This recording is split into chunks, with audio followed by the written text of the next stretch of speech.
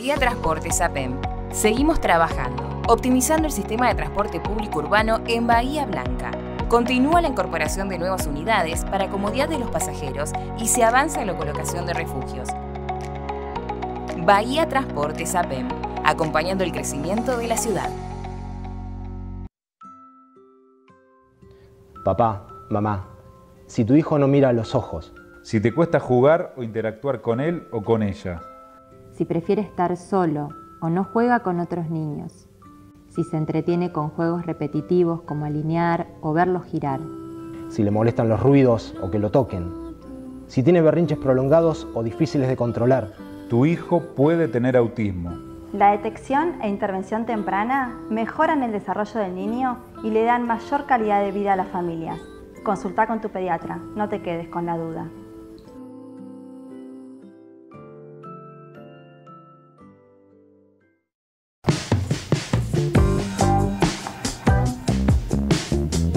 Bienvenidos, bienvenidas al episodio número 21 de No va a funcionar. Hoy con un programa muy musical, porque vamos a charlar con Guillermina Esmoris, la creadora de Jumba, la primera marca argentina de resinas artesanales para instrumentos de cuerdas. Abu Sakur, ¿cómo estás? Bienvenida. Bien, muy bien.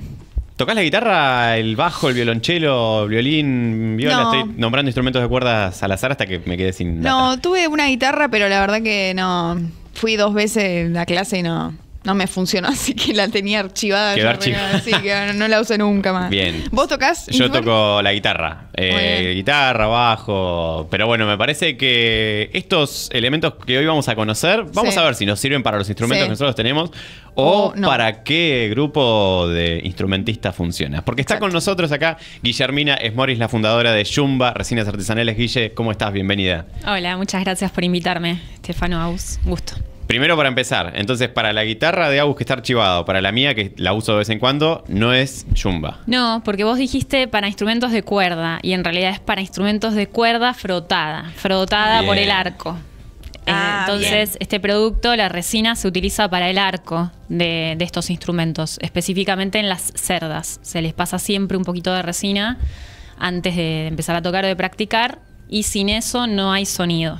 Bien. Es clave la resina para estos instrumentos. Hoy hablábamos fuera del aire eh, y hacemos el, eh, el mala nuestra por no haber estudiado a fondo de qué cual. se trataba el producto, porque claro, uno eh, es estamos ante el, el primer producto de, de dentro de lo que fue el ciclo de No va a funcionar de nicho. Es para un grupo de personas específico, Específico. que toca un instrumento eh, de cuerda frotada, que no es lo mismo que la guitarra, que se arpegia o se rasguea. Por ejemplo, ¿qué instrumentos son los que pueden o que necesitan este tipo de resinas para funcionar bien? Violín, viola, violonchelo y contrabajo. Toda la familia de, de cuerda frotada.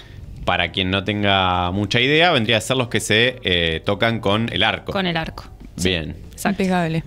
Bueno, contanos un poco cómo comienza la historia de Jumba.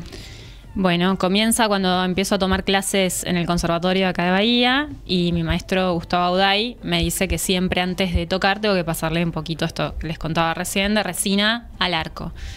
Y bueno, ahí esto me resultó ya fascinante, más que el instrumento en sí. Yo desde muy chiquita toco la guitarra, el bajo, la batería, el- un poco de todo y mucho de nada, digamos. Eh, y cada vez menos, la verdad. Pero bueno, en ese momento estaba incursionando con el contrabajo y ahí me encontré con este producto y me encontré con que eh, estas resinas eran importadas y muy caras, sobre todo para los estudiantes. Había algunas baratas, pero de pésima calidad, que no son recomendables, generan mucho polvo, un polvo nocivo para la salud, para el instrumento. Entonces, bueno, eh, me encontré con ese problema también, ¿no? Y, y empecé a investigar para ver cómo podía hacer para fabricar mi propia resina. Y cuando tuve mi resina, se la mostré a mi profesor y, y él se quedó muy sorprendido. Justo yo había visto un, un documental de un gran contrabajista del tango que es Horacio Cabarcos y él en ese, en ese documental mostraba cómo hacía su propia resina en el patio de su casa, que lo había aprendido de su padre, que fue uno de los primeros contrabajistas del país. Ya estamos hablando de los orígenes del tango, ¿no? Y eso a mí me, me encantó. Dije, si este hombre puede hacer esa resina en el patio de su casa, ¿por qué la estamos importando? ¿no? Me empecé a hacer esa- ese tipo de preguntas y empecé a jugar con la idea de tener una marca nacional propia. Y me contacté, de hecho, en un momento con Horacio Cabarcos y, y me pasó la fórmula que había aprendido de su padre, así que hay todo un recorrido muy interesante detrás de Jumba. ¿Cómo fue esa, esa primera aproximación, ese primer producto? ¿Con qué lo hiciste? Cuando Ah, hiciste eso tu primera eso es como la fórmula de la Coca-Cola, ¿viste? No se lo puede decir. O sea que seguís haciéndolo con lo mismo que. No, no, no, fue variando. Eh, la mujer de mi papá, Andrea David, que, que trabaja en la química industrial de acá de Bahía, este, ella me dijo, le mostré el documental de Cabarcos, le dije, mira, viste, él hace su resina, qué sé yo, y, me dijo, y ella me dijo, sí, yo creo que la materia prima es tal, o sea, no había data de nada, Claro. fui a Google y no me sirvió. Eh, no existía el chat GPT, capaz que me ayudado más. En ese momento soy fan de la tecnología, cada vez más. Eh, y así que bueno, no me quedó otra que probar con lo que me decía Andrea, que me, me trajo un día una bolsita de, de colofonia, que es el nombre de la materia prima. Y yo dije, ahora con esto, ¿qué hago? Un miedo Claro. tenía. Vos bueno, cero conocimiento de, la no. química, De y todo eso. Yo tengo formación en humanidades, me gusta mucho la historia, la economía, hasta ahí. Eso es lo, lo más cerca que podía llegar a estar de algo así.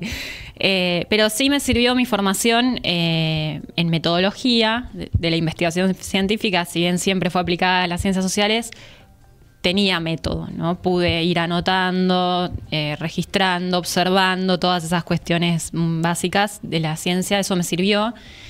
Y bueno, prueba y error.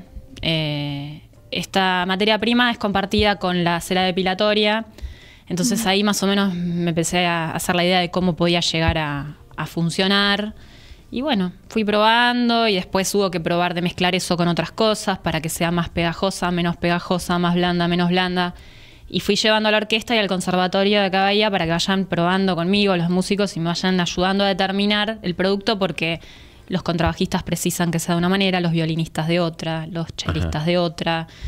Entonces, bueno, cuando más o menos estuve conforme con las fórmulas, dije, listo, ya está, tengo la marca, Jumba. Excelente. ¿Y cómo decidiste ponerle Yumba? Mm, ¿A qué se Yumba, refiere el nombre? eh, es un tango de la década del 40 de Osvaldo Pugliese.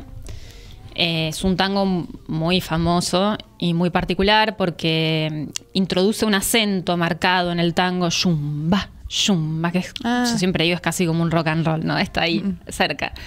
Eh, y es característico de, de la década del 40, ¿no? De una década como muy alegre en Argentina, muy propicia, de, de mucha industria, de mucha fábrica, de mucha clase trabajadora de pleno empleo, que, que los fines de semana llena las milongas y los clubes bailando, este tango nuevo, alegre. Entonces me interesaba que la marca estuviera asociada a todo eso, a, la esa, a esa época de, sí, de la historia argentina, ¿no? De la, de la historia de la industria argentina también.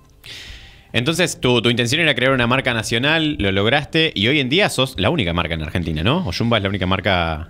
No, después, bueno, eh, Jumba tuvo mucha repercusión mediática, se, se viralizó la noticia en medios como Infobae, que llegó a toda Latinoamérica, es decir, tuvo en distintos momentos mucha, mucha, mucha difusión en los principales diarios y portales del país, o sea, muchas entrevistas con mucho periodismo de, a nivel nacional también, y bueno, ahí se les empezó a ocurrir a varios más hacer. Ah. Pero bueno, eh, es una cosa es tener un, un emprendimiento por ahí de, de- de un alcance más o menos, de un radar más o menos cercano, y otra cosa es eh, la dimensión que tomó Jumba, que se exporta a más de 20 países, ¿no? Claro. O sea, eso es, es otra cosa. Ahí, bueno, ahí hay que contar con otra estructura, digamos.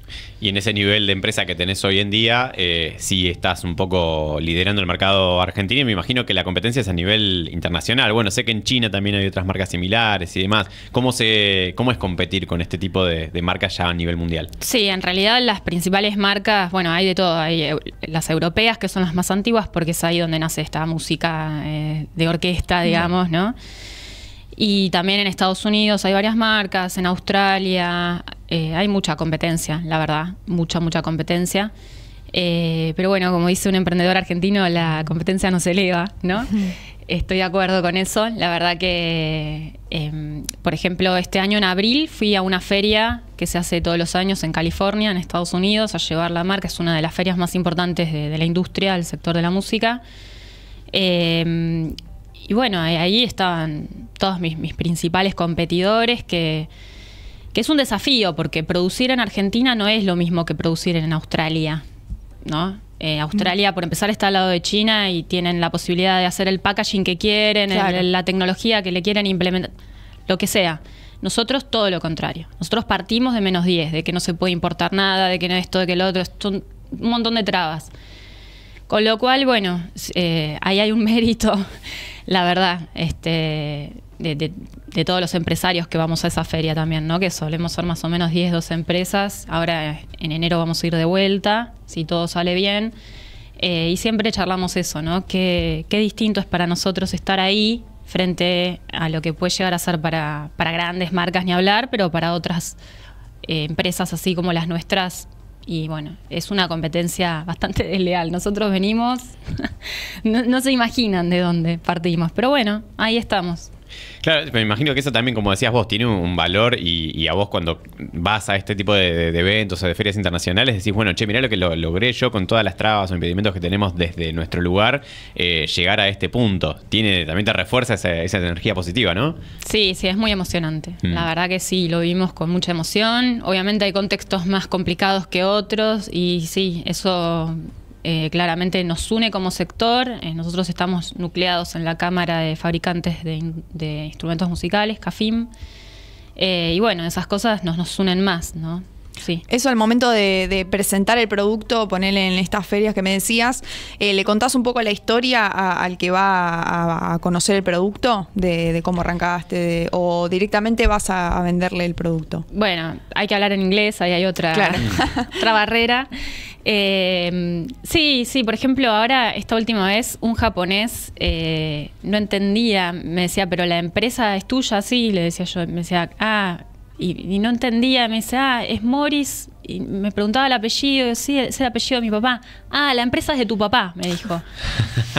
No, no podía, costaba- no podía entender que una mujer más o menos joven estuviera ahí, eh, aparte de una industria muy, bueno, esto no es una novedad, ¿no? Como la mayoría de las industrias, pero la de la música también es muy, mucha presencia masculina, entonces llama la atención, ¿no? Y, y explicarle a alguien del otro lado del mundo, a veces esos, eh, sí, uno naturaliza ciertas cosas, ¿no? Que todavía, Hmm. bueno, evidentemente no hay que naturalizar. Este, pero sí, más que nada también me gusta contar que, que la producción está en manos de una cooperativa de mujeres. Eso también es Bien. muy novedoso para, para el que está afuera. Eh, en mi caso, eso surgió porque me encontré con el problema del crecimiento, que es un problema bueno, pero ahí empiezan otros problemas, ¿no? ¿Cómo hago contrato, empleo, no? ¿Cómo se hace? ¿Qué riesgos tiene? Hay un momento eh, del proceso de emprender que se complejiza si todo va bien, ¿no? Y bueno, eh, en mi caso yo estaba en esa situación de no saber cómo hacer para delegar la producción, más que nada. Y bueno, escuché justo una entrevista que le hicieron a Maleza, que es una cooperativa de, de mujeres que producen cosmética natural en Villa Lugano, en Capital Federal.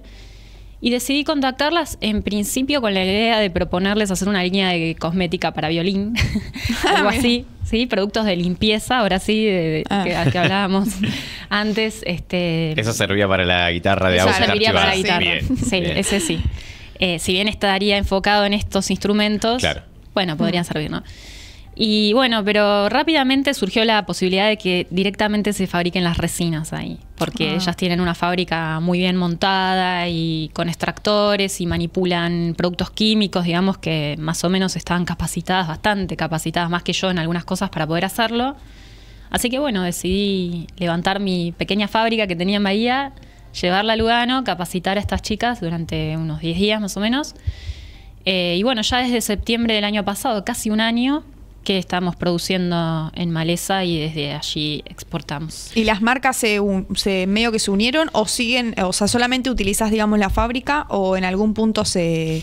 Es como una terciarización Bien. de la producción, pero ahora finalmente este año pudimos encarar eh, estos productos nuevos de limpieza y mantenimiento y eh, la investigación fue compartida, el desarrollo es compartido en el sentido de que yo sigo trabajando en todo lo que tiene que ver con la identidad y el concepto de la marca, que eso es clave, el diseño es fundamental pero ellas hicieron el desarrollo de los productos íntegramente en el laboratorio. ¿sí? En la investigación participamos las dos partes, pero es así, es como un híbrido, Sí. ¿viste? Claro. es difícil de, de encasillar. Está buena la pregunta porque eh, me han dicho, vos tenés una cooperativa. No, yo no tengo una cooperativa. Claro. La cooperativa existe. Mm, sí, sí. eh, Surgieron paralelamente, es autónoma, claro. Desarrolla otros productos también, además. Además tienen sus propias, su- sí, o sea, en realidad es su marca. Claro. Aceptaron incorporar este, la producción de Jumba, ¿no? Pero la verdad es que es, es una experiencia muy interesante. Recién mencionabas el problema del crecimiento, que es cuando todo va bien en un emprendimiento, pasa de ser por ahí una idea inicial, quizás más chica, con una producción más hogareña, y bueno, ahora ya con un equipo de gente trabajando. ¿Cuánto tiempo pasó desde esta idea inicial que compartiste con tus compañeros del concert hasta lo que es hoy?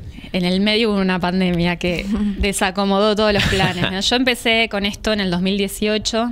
El 2019 fue, fue muy rápido el crecimiento que Ujú. tuve en el 2019, a un año de haber empezado con, con estas fórmulas que siempre digo, empecé con una latita de tomate en la cocina de mi casa probando, eh, ya estaba exportando, sí, al año, muy rápidamente. Y además ese año también fui a, mm, a NAM, a esta feria que les cuento en California por primera vez. Vendí mi contrabajo para poder ir, fue una inversión que decidí hacer y vino bien, la verdad. Fue una buena inversión, una buena decisión. Eh, pero justo cuando estaba ahí despegando y, y empezando a sentir el beneficio de haber ido a esa feria, cae la pandemia, que para la industria de la música fue Hmm. terrible. Eh, yo ya ahí tenía clientes en muchos países y todos estaban muy golpeados, todos confinados, no fue una idea loca que pasó acá. Eh, fue muy duro, bueno, eso me llevó a trabajar un tiempo en otra cosa y, y bueno, a sostener como podía el emprendimiento con lo mínimo, con mucha ayuda. Eh, pero bueno, fueron casi dos años que yo les podría decir que, que estuvo como parada, no sé, eh, sí, a otro ritmo, era casi insostenible. Así que son cinco años con dos de pandemia. Bien, este mm, crecimiento entonces, ahora ya hablamos de, de un equipo muy grande, vos estás a cargo de lo que es la identidad de la marca, también compartías, recién decías, la, la investigación para los nuevos productos y demás. ¿Qué otras áreas hay dentro de lo que es Jumba hoy en día? Sí, digamos que investigación y desarrollo, eso es eh, lo que más me gusta, es la parte más creativa. Y bueno, después toda la parte de comercio exterior también implicó eh, de mi parte, porque ya les digo, estaba empezando así sola, con, Claro. con esa precariedad en la cocina de mi casa, pero con la misión de exportar. Todo eso fue un camino que tuve que ir haciendo, eh, conocimiento que fui adquiriendo y bueno, esa es otra de las vertientes que tiene, ¿no? Me interesa mucho esa parte, eh, principalmente porque vos decías que venís de, de las ciencias sociales. Sí. ¿Estudiaste alguna carrera vinculada a las ciencias sociales? Estudié letras hasta cuarto año y después me cambié a una carrera que se llama Ciencias Sociales y Humanidades, que tiene bastante historia económica, que es lo que más me Bien. gusta, la historia económica, política, la historia argentina. ¿Y con la música hoy en día cómo, cómo te llevas? No, toco en mi casa, sí, la guitarra cada tanto, el bajo, pero no, no, no, nada que ver. De encontrar este nicho, digo también por una, una- nace de una necesidad propia, de, de- en lugar de ir a comprar este elemento que era caro, poder crearlo vos misma, hasta salir a vender afuera, que para cualquiera de nosotros puede parecer como algo, una cosa Sí, sí. súper compleja. Digo, ¿cómo se aprende? ¿Cómo aprendiste vos en este corto periodo de tiempo que fue del 2018 al, al 2019, antes de la pandemia, a vender a China, a exportar y demás? Me imagino que debe ser, yo no sé, entiendo que es ir al puerto a llevar cosas, a firmar papeles. Sí, a mí me, yo la verdad que no, no me imagino la logística de ese proceso. Claro. Capaz que vos no podés llevar un poquito por el Sí, camino. sí, de ¿Cómo hecho siempre me encanta eh, conversar sobre esto porque justamente tenemos esa idea, como decís vos, Estefano, de que exportar es mandar containers, ¿no? A través Sí. del puerto. Esto es algo muy chiquito, nada que ver, si esto va a una casa de música o como mucho a un distribuidor, pero por ahí son dos cajas de 15 kilos, 10 kilos, 20 kilos, digamos, son dos cajas. Va por vía aérea. Todo esto se empezó a simplificar en los últimos años, por suerte.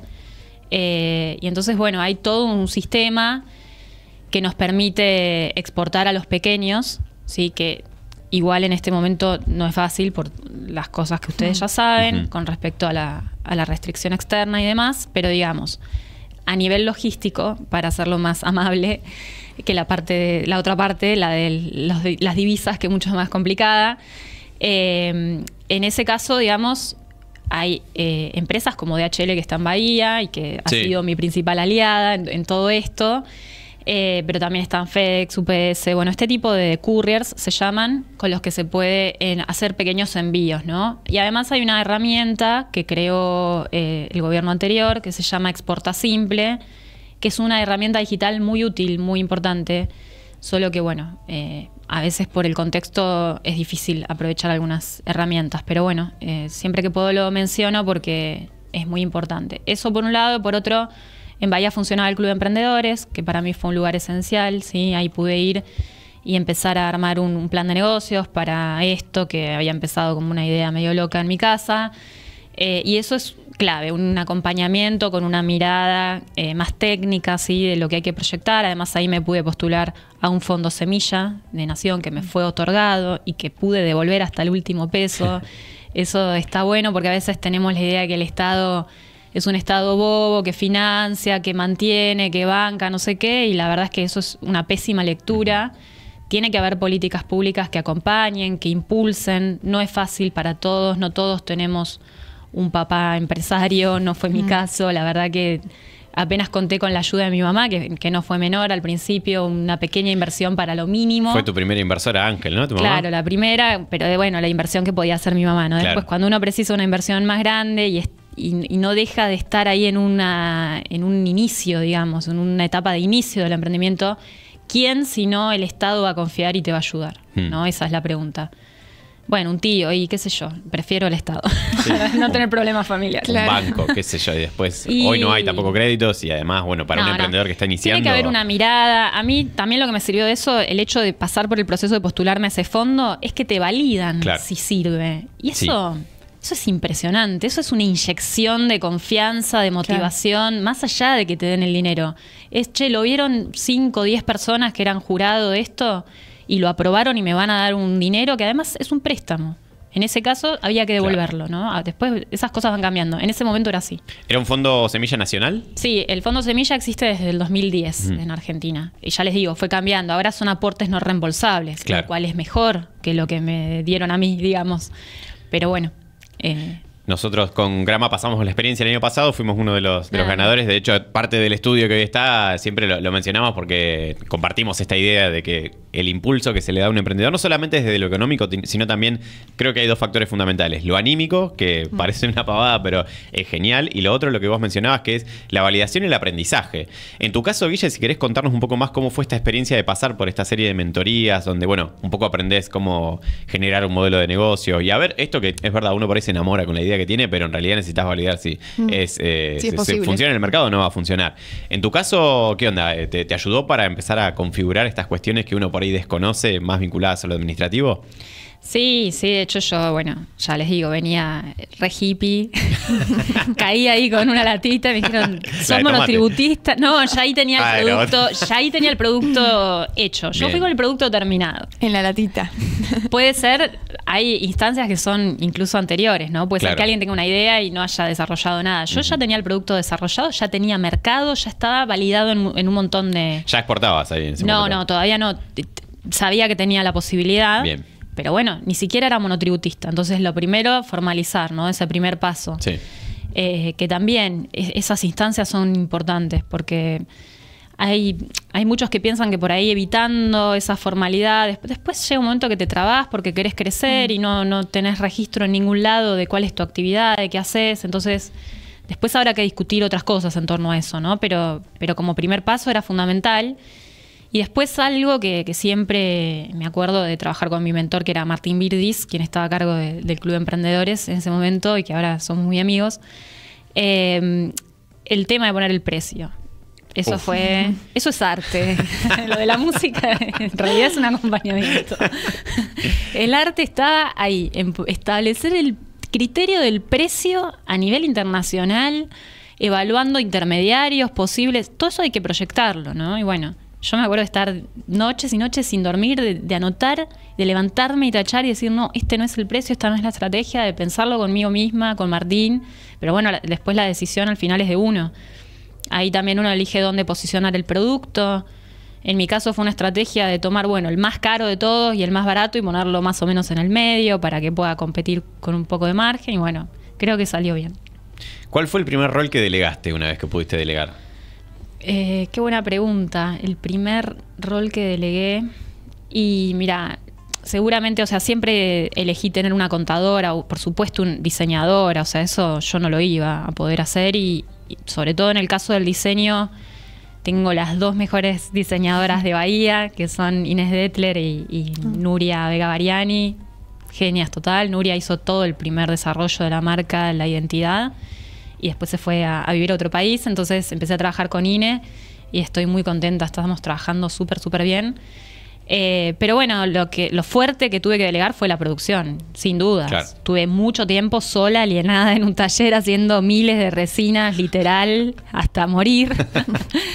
Eh, eso fue, fue lo grande, así como de, de delegar. Acá siempre hablamos de, que por ahí lo, lo más difícil para un emprendedor que, que por ahí no tiene ni idea o por ahí que viene de las ciencias sociales es el tema de los números.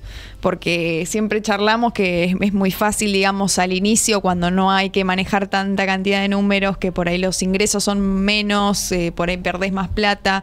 ¿Cómo fue en tu caso ese manejo de números? ¿Te dedicaste directamente con una, con una contadora o al principio lo manejabas vos? No, no, era todo bastante más artesanal, Claro. de hecho. Me acuerdo que Martín me cargaba y me decía, ¿cuándo vas a usar un Excel? Deja la libretita de almacenero, me decía. Bueno, un día eso eh, fue inevitable, Claro, ¿no? sí, sí. Eh, ahí también, bueno, decidí contratar eh, a una administradora que me ayude a organizar bien esas planillas y ahora, bueno, vuelco todo ahí.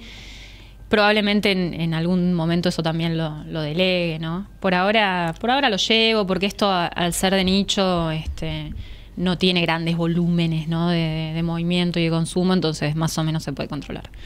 ¿Cuáles crees que son los principales desafíos de exportar desde Argentina y con el contexto actual que tenemos?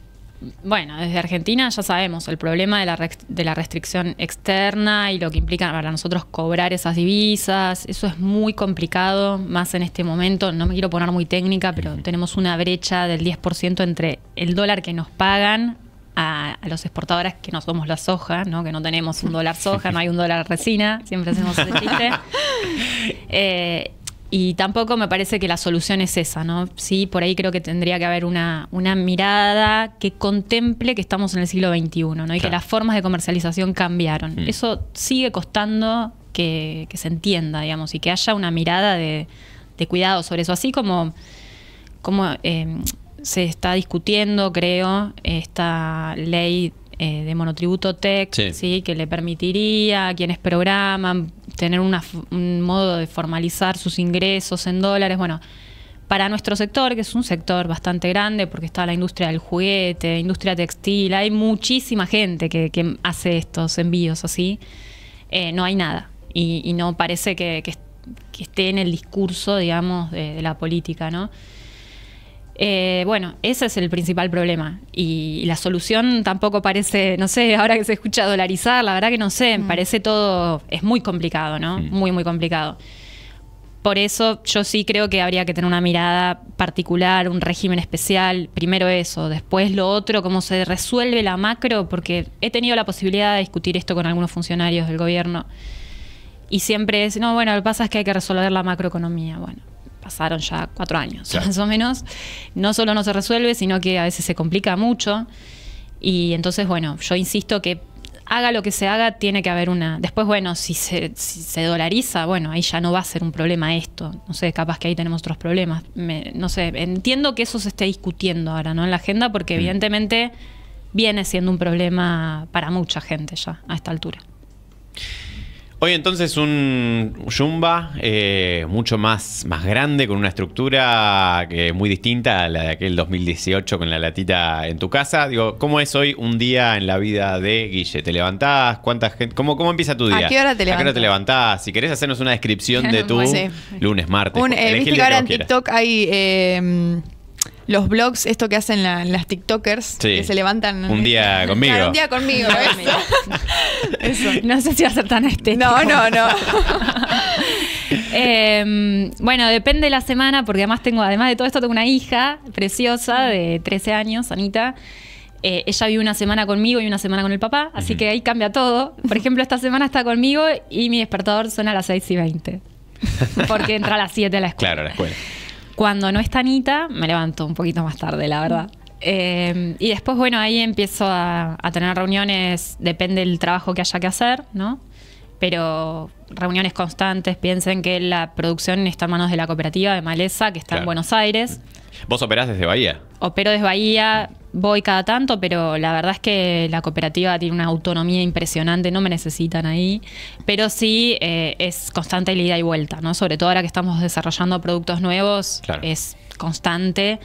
Así que hay mucho, mucho de eso. Y bueno, después hay que hacer un envío, toda la parte de documentación para mandar al exterior, el, el trato con los clientes, ¿no? Eso también es- lo sigo manejando yo, digamos. ¿Vos te encargás de las redes sociales y eso?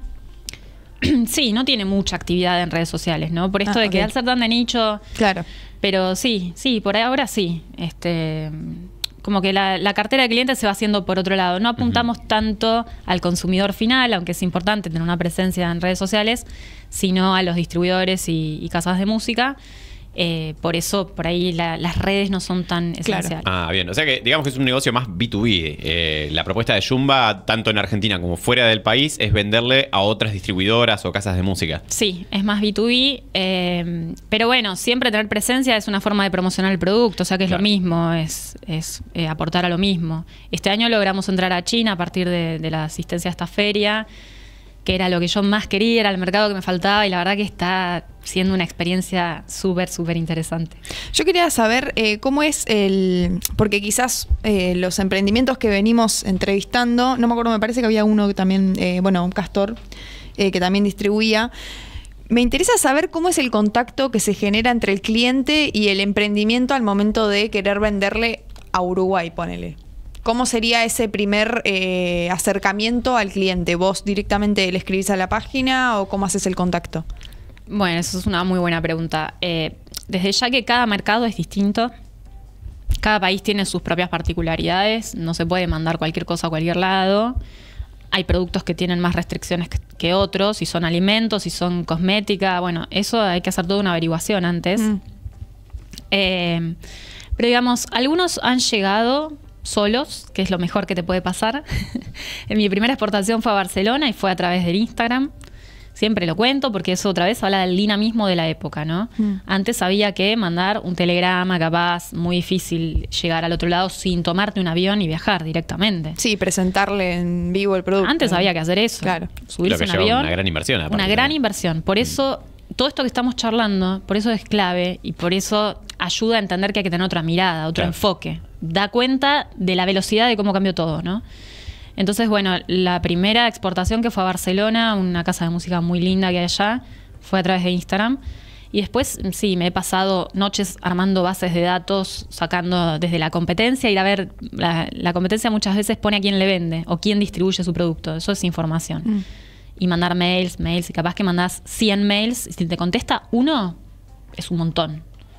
Eh, así fui haciendo parte yo de, de mi cartera de clientes y después, bueno, asistir a este tipo de ferias como las que le contaba. Las ferias internacionales son claves para promocionar los productos argentinos. También Argentina pone stand en varias ferias.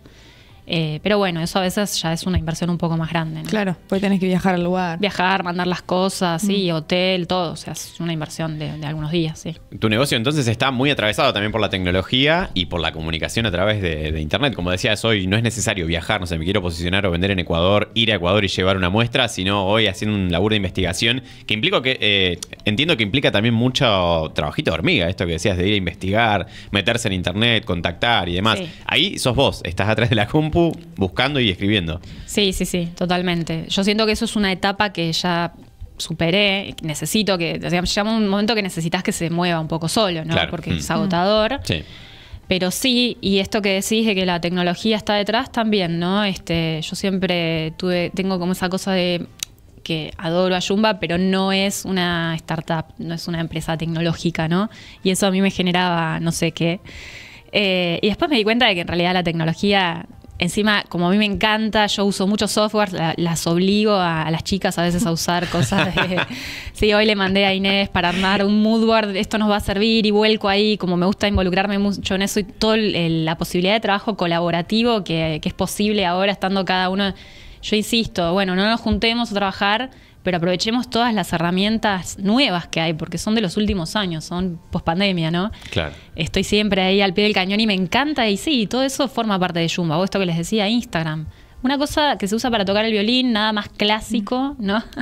que eso, que un violín. eh, pero bueno, la tecnología termina siendo fundamental para que eso funcione. Estas recién- plataformas que, perdón, que, No. que justo mencionabas que te apalancas en este tipo de plataformas. ¿Querés mencionarnos algunas? No sé, ¿hay alguna con la que no puedas vivir? O, eh, digo, si te sacan, vamos a decir un ejemplo, Google Drive o Trello, digo, esto no puedo vivir. ¿Cuáles son las que hoy te, Em, te ayudan? Notion, eh.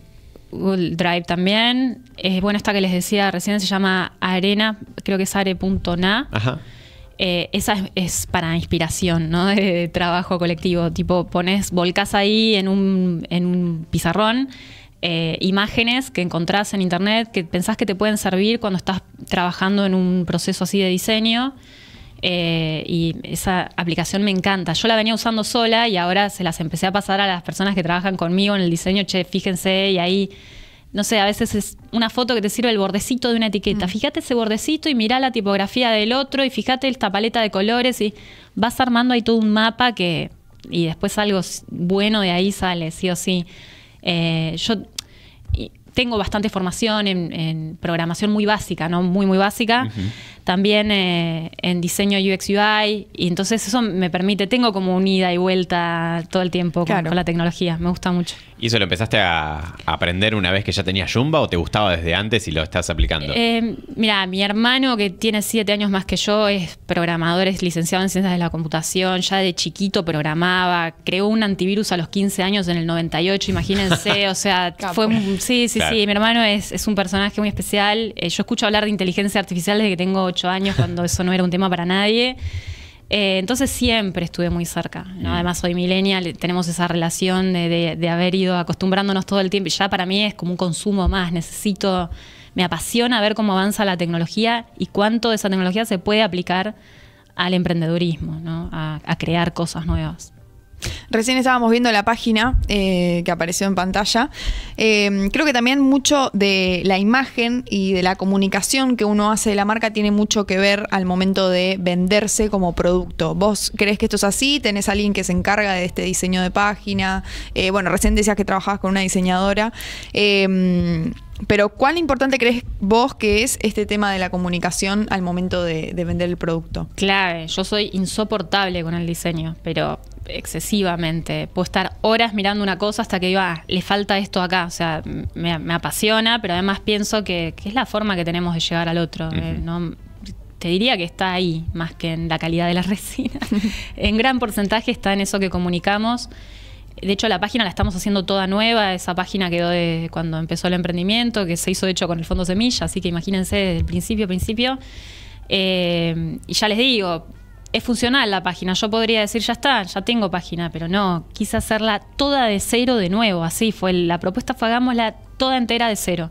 Y estuve ahí trabajando. De hecho, ahora en un rato tengo una reunión con eso y ya la estamos por, por sacar nueva. Todo el tiempo. O sea, el, el diseño es clave y en Jumba hay mucho de la identidad argentina vinculada a esta década del 40, al tango, todo esto que les contaba, ¿no? Eso también es una forma de llegar al otro y llevar lo nuestro. A veces le ponemos un detallecito de una banderita y para nosotros es importante que esté la bandera ahí, por ejemplo. ¿La recepción en el resto del mundo de los productos argentinos es buena? Sí, bueno, como dice una amiga, ahora Argentina está de moda. Mira, Eh. he escuchado esa frase varias veces. Sí, sí, sí, y sí, tenemos la escaloneta. Claro. Sí, sí, Ah. sí. Sí. Eh, a veces, lamentablemente, nos valoran mucho más afuera de lo que nosotros nos valoramos, ¿no? Mm. Eh, pero sí, claro, hay mucho talento en Argentina, mucha capacidad, este, y bueno.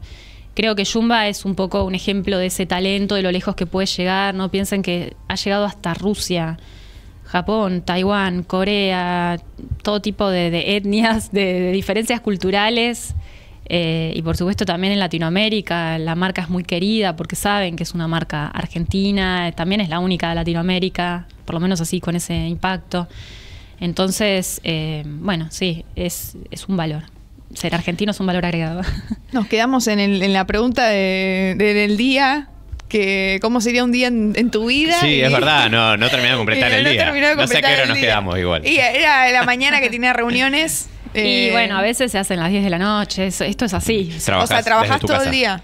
Sí, y a veces eh, me pasa, por ejemplo, con los clientes de China que quiero contestarles cuando me contestan, pues te no Claro. querés esperar al otro día. Claro, encima con China tenés una diferencia Sí, de horario. tremenda. Sí, eso ahora lo controlo mejor, pero hubo un momento que no me podía dormir, capaz que pasaba toda la noche esperando una respuesta de Japón No. que no llegaba por ahí, ¿viste? Llegaba dos días después, pero la ansiedad, ¿quién te la para? Nadie. Claro. Eh, o me ha pasado de estar durmiendo y despertarme y ver el teléfono y entró un mail y ya lo leo a las 4 de la mañana y no me duermo más, me tengo, o sea, Sí. eso sí, eso hay que ir aprendiendo, como administrar toda esa parte. Y hoy en día eh, ya pudiste, digamos, manejar toda esa, esa presión también que implica el emprender. Nosotros siempre hablamos que la, la constante en absolutamente todos los emprendimientos que funcionan es la cantidad de horas de laburo que, que le meten a, a cada negocio. Bueno, vos lo mencionabas recién, estás todo el día atrás de la, de la compu, me imagino que hoy es más la operatividad, es, Sí. es eso. Eh, hoy eh, encontraste ya un equilibrio entre la vida personal y el trabajo, cuesta. Argentina, así como tiene todo esto bueno que decíamos recién, también tiene sus, sus complejidades, ¿no? Este es un momento de muchísima incertidumbre, es muy difícil con una inflación que cambia los precios todos los meses, digamos, nada que no sepan, que no sepamos, ¿no? Eso hace que el trabajo que, eh, que uno tiene que hacer, ya, que ya de por sí es complejo, sea más difícil todavía. Claro. Entonces a veces es muy difícil manejar estas variables de incertidumbre, de ansiedad, de qué va a pasar, voy a poder enviar, voy a poder cobrar, porque en parte nosotros tenemos eh, esta particularidad de que mandamos afuera y está ese siempre ese miedo de frontera, che, y si nos cierran la aduana y si... Y eso es duro. Eso es duro, eso es un estrés que no deberíamos tener, es un estrés extra que, que hace daño, o sea, es, es muy complicado. Pero bueno, también un amigo dice que tener una empresa es tener una mirada sobre el país. Y en este sentido, bueno, eh, sí, no, no sé si es mejor o peor, pero yo estoy atenta permanentemente a qué pasa, qué no pasa, qué Claro. novedad hay, ¿no? Todo el tiempo. Ya que mencionábamos hoy una de las claves que en el caso de Jumba tiene que ver con la comunicación, sobre todo visual, el diseño, me imagino que pasa un poco como en la, la gastronomía, ¿no? Que pasa también por los ojos. Una vez, yo recién veíamos Sí. que, que Martín ponía en pantalla la- Sí. las, las resinas están, están buenísimas. Me hace acordar un poco al último capítulo que fue el de eh, Augusto Tuyo de conservas, Mm. similares, nada que ver porque una no se come, que estamos hablando de Jumba. resina, Eh, pero la- sí, en esa, esa cuestión de que te llama la atención lo, lo visual es importante y vos decías, es una de las claves dentro de lo que fue el fortalecimiento y la proyección del negocio. Si hoy tuvieras que ver algunas o mencionar algunas otras claves que en estos años de recorrido hicieron a que Jumba es lo que es hoy, ¿cuáles crees que son esas claves para el crecimiento del negocio? Eh, y esto, esto fue realmente clave, o sea, la comunicación y la identidad, invertir en eso es muy importante. No hice un logo más o menos. ¿viste? No, lo que pasa es que ah, para eso hay que tener cierto criterio, ¿no? Hay que tener una mirada, hay que tener un enfoque. Y bueno, y si uno no lo tiene, es importante rodearse de gente, eso también, ¿no? Un Mm. buen equipo, rodearse de gente que, que aporte, eso también es muy importante. Este, solo no, no, no se llega muy lejos. Entramos ¿Saben? en... Adelante. No, que perdón. tengo una pregunta que, que quería hacer, que es ¿cuánto dura una resina? O sea, vos compras una resina y ¿cuánto tiempo te dura eh, ese producto, digamos? Muy interesante la pregunta. Me llama la atención porque vi, la, vi el, el producto ahí en, el- en la pantalla y, y quise preguntar eso porque eh, me imagino que en su momento vos cuando iniciaste, que decías esto de que comprar una resina era caro para los estudiantes y quizás ahora tus precios son más accesibles, eh, ¿cuánto le dura a un estudiante eh, esta resina? A un estudiante que usa muy poquito le puede durar 10 años, le puede durar. Ah, igual bueno. al año empieza a perder ya su, su calidad, ¿no? Claro. Porque no deja de ser un producto orgánico. Pero, pero sí, puede durar muchos, muchos años. Hay muchos músicos que dicen, yo mi resina la tengo. Esa es una de las contras que tiene el producto. Mm. Pero Claro. bueno, siempre eh, empieza gente a estudiar el, el Mm. instrumento, o sea que el mercado siempre se va renovando. Y ahora los chinos nos propusieron hacer una resina para niños y niñas.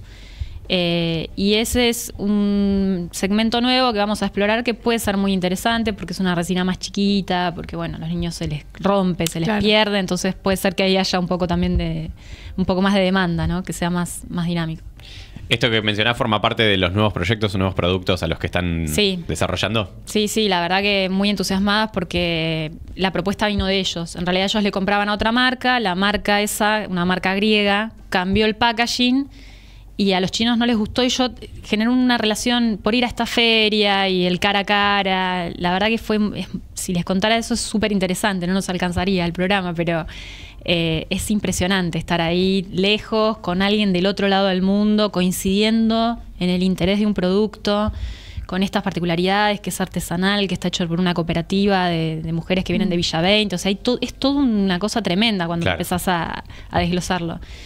Y bueno, ellos como generaron ese vínculo tan particular conmigo, antes de decirle a la otra marca que querían que vuelvan al packaging que tenían antes, me propusieron a mí hacer. Mirá eh, vos que por un packaging perdieron un cliente. Sí, sí. De ahí te das, te das cuenta de la importancia de lo que es la y lo más loco es que yo con esto que les decía hoy, eh, los que están en, en otros países tienen otras posibilidades de desarrollo de packaging, que es cierto. Pero yo veía el packaging que ellos hicieron y decía, mirá, claro, lo hicieron con corcho, así, no sé qué, no sé. qué". Bueno, le salió mal. No todo lo que brilla oro. Claro. A veces nosotros acá con menos nos arreglamos mejor. Eh, así que sí, eso fue, fue increíble y estamos trabajando en este desarrollo nuevo que la verdad que recién le terminamos de dar unos ajustes y estamos muy entusiasmados. Guille, eh, ¿mate o café? ¿Qué preferís? Mate. Mate, bien. Si tuvieras a tu negocio enfrente, se cuenta que es Agus, la tenés ahí. Jumba es Agus. Y podés tener la oportunidad de tomarte 20 o 15 minutos unos mates con Jumba. ¿Qué le dirías? ¿Qué sería lo primero que le dirías? Gracias por enseñarme tanto. Sí. Y si te vas y te mirás al espejo y te ves a vos del 2018, que recién arrancaba, ¿qué consejos te das? Uh. A vos misma. Que no escuche a esos que dicen, pero ¿cuánto podés vender de esto? ¿Cuánta gente toca el violín? Que no les dé bola. Igual mucha bola no les di, pero...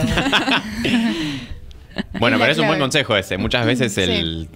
Siempre está bueno escuchar a, a todo el mundo, ¿no? Pero no a- arraigarse a los comentarios de la gente cercana, que en la mayoría de las veces es porque a uno lo quiere o. Sí, te quieren cuidar, te o, quiere cuidar. o por ahí Claro. te tiran mala onda, no sé, pero también me acuerdo mi maestro un día me dijo, terminá de escuchar lo que te dicen todos, porque cuando yo estaba determinando esto de las fórmulas, que, le- que unos me decían así, el otro... Llegó un momento que era imposible que todos quedaran conformes. Entonces mi maestro me dijo, bueno, basta, hay un momento en el que uno... Tiene que se- tomar sus propias decisiones. Basta, basta, porque es imposible contentar a todos. Y eso me generaba presión, porque que tuviera la impronta de la resina argentina parecía que tenía, tenía que ser el Messi, ¿viste? Bueno, o sea, lo fue de alguna forma y el reconocimiento vino de afuera. Eso también pasó. Cuando empezó a tener tanto impacto afuera, adentro, los que al principio por ahí más de algún comerciante me había cerrado la puerta en la cara, algún día me llamó para, para pedirme vender el producto.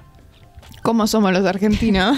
Sí, sí. Cuando se empieza a exportar y lo usan otros países, ahí recién lo usamos los propios. Terrible. Eh, ¿Cómo se dice la frase? Nadie es profeta en su tierra. Sí, Pasa. Tal cual. Sí. Guille, si tuvieras la oportunidad de tener un superpoder cualquiera para impulsar Jumba o para lograr algo que deseas hoy con el negocio, ¿cuál sería?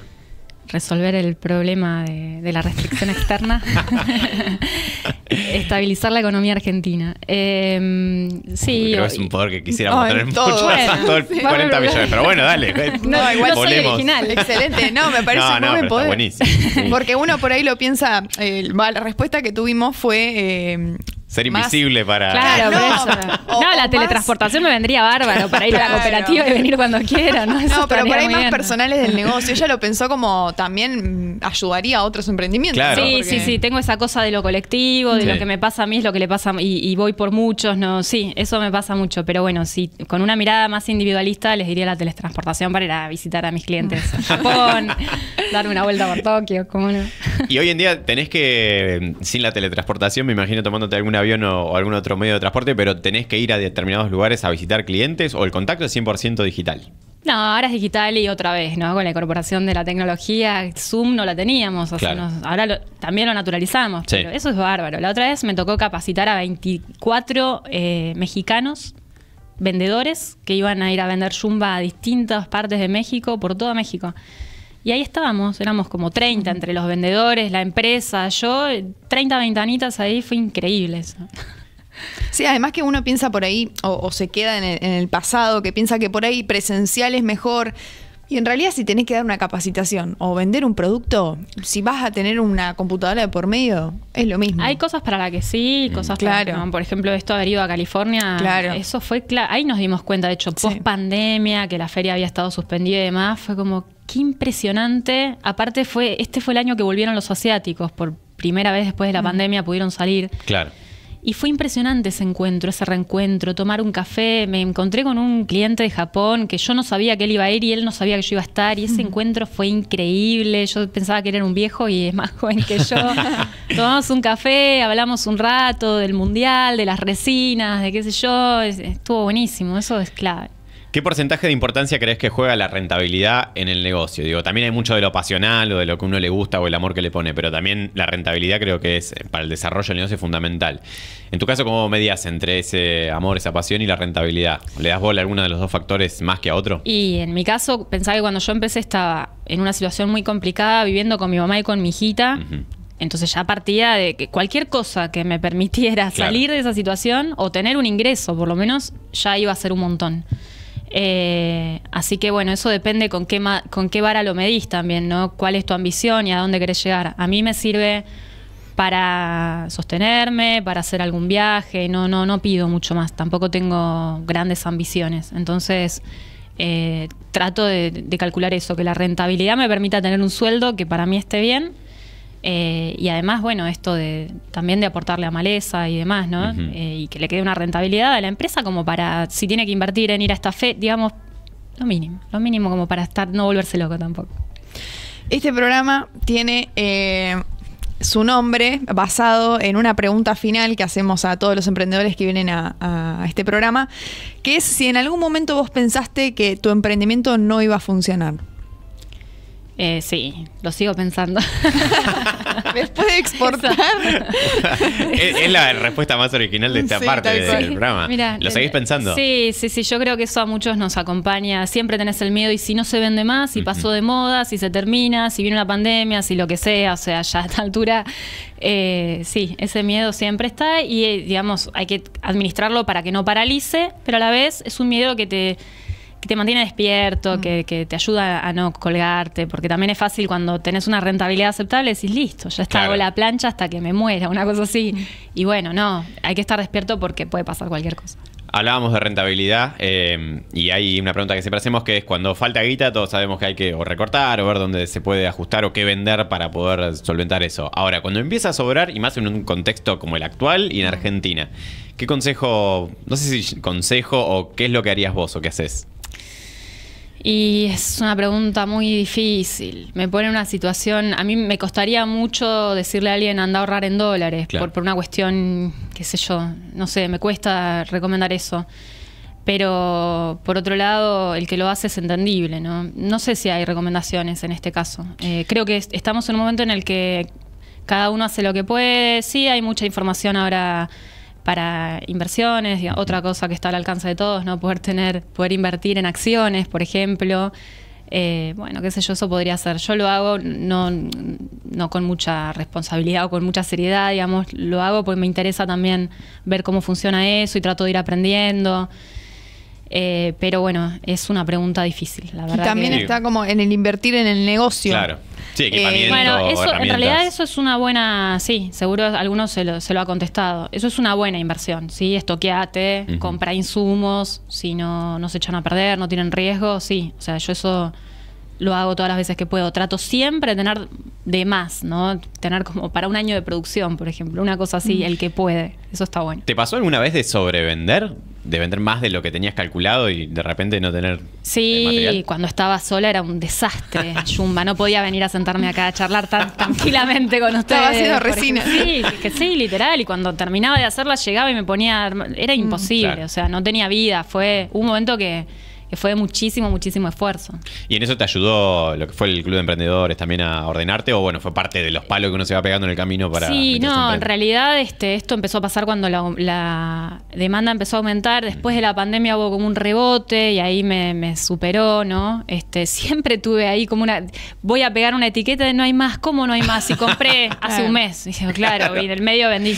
Bueno, Sí. eso me pasaba en un momento. Ahora está todo mucho más controlado que está delegado. Tenemos cuadros, tenemos planillas de Excel. Última pregunta que tiene que ver con el momento recomendata. Un Sí. libro, un podcast y un consumo audiovisual que puede ser serie, película, canal de YouTube, lo que vos quieras. Puede ser orientado al mundo emprendedor, a, lo que, a la música, a lo que vos quieras. Bueno, a ver, un libro, hay un libro que está muy bueno que se llama No Logo, que para los que están interesados en el tema de, de marcas, de, pero bueno, está muy situado en Estados Unidos, ¿no? Pero es un libro que es muy interesante. Eh, y para quienes gustan de la economía argentina, recomiendo Los tres kirchnerismos de eh, Matías Culfas. Un podcast, Anaconda con Memoria, de Mariana Moyano. Súper recomendable para quienes les gusta la actualidad. Ahí eh, he participado alguna que otra vez hablando de, este problema de la restricción externa y así que bueno, ahí recomiendo. Y después, audiovisual, yo soy fan de YouTube. Eh, gasto horas enteras de mi vida en YouTube, me tengo que controlar. Por supuesto que pago eh, YouTube Premium porque le- les juro, más que Netflix, más que cualquier otra cosa, me encanta.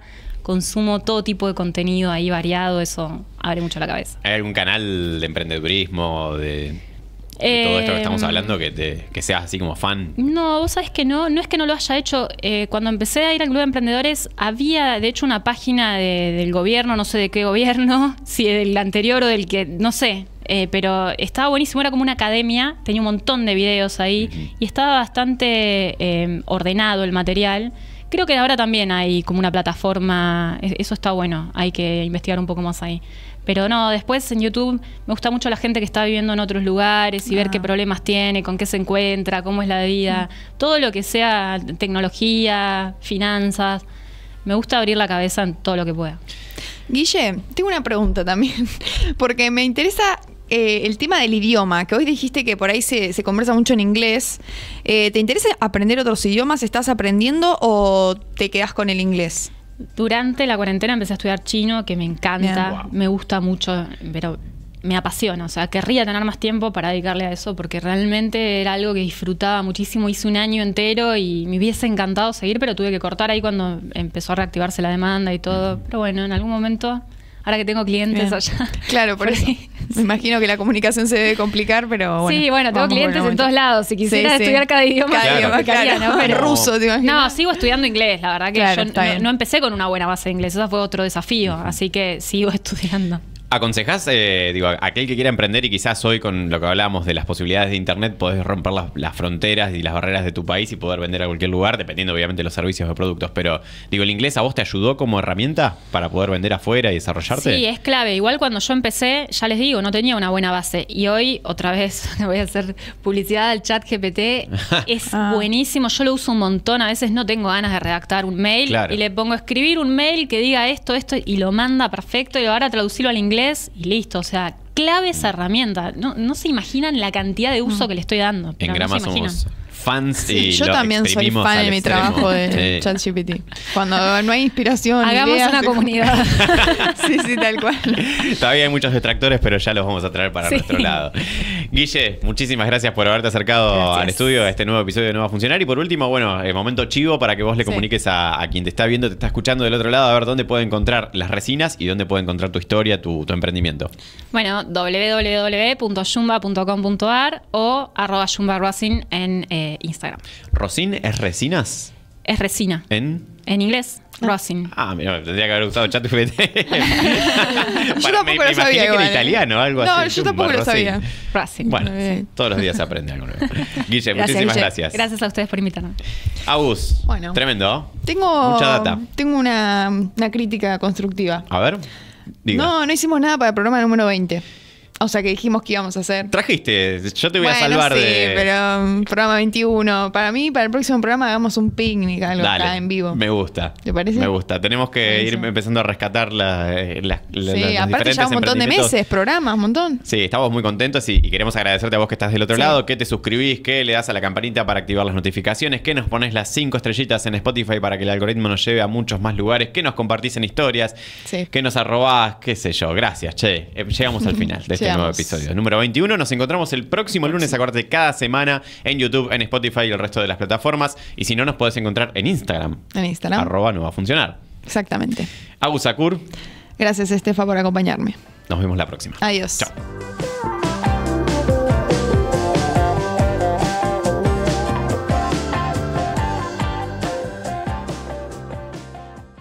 Bahía Transportes APEM. Seguimos trabajando, optimizando el sistema de transporte público urbano en Bahía Blanca. Continúa la incorporación de nuevas unidades para comodidad de los pasajeros y se avanza en la colocación de refugios. Bahía Transportes APEM, acompañando el crecimiento de la ciudad. Papá, mamá, si tu hijo no mira a los ojos, Si te cuesta jugar o interactuar con él o con ella. Si prefiere estar solo o no juega con otros niños. Si se entretiene con juegos repetitivos como alinear o verlos girar. si le molestan los ruidos o que lo toquen, si tiene berrinches prolongados o difíciles de controlar, Tu hijo puede tener autismo. La detección e intervención temprana mejoran el desarrollo del niño y le dan mayor calidad de vida a las familias. Consulta con tu pediatra, no te quedes con la duda.